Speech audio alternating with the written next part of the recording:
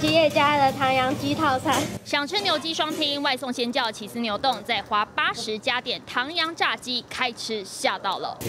唐扬鸡套餐只有一块，客人吃剩的。小小纸盒就只放一块炸鸡，一块炸鸡配迷你饮料要八十，是你接受吗？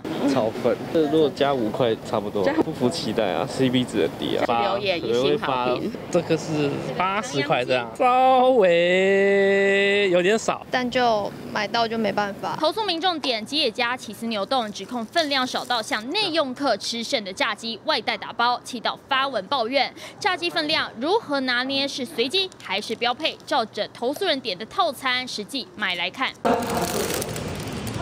起司牛冻加购台阳炸鸡饮料，一份快三百块，炸鸡真的只有一块。和竞争对手比一比，同样卖起司牛冻，扣掉饮料，吉野家一块炸鸡六十，size 比较大。反观 Sukiya，两块炸鸡加味噌汤六十，炸鸡相对小块，但分量价钱平台都有附注，清楚明了。那我当然是选择量多的，毕竟它已经写上。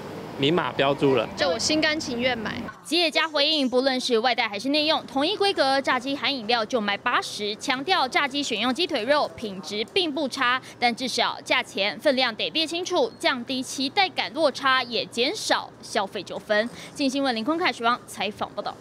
立刻下载静新闻 App，一手掌握新闻时事，尽善尽美，尽好新闻。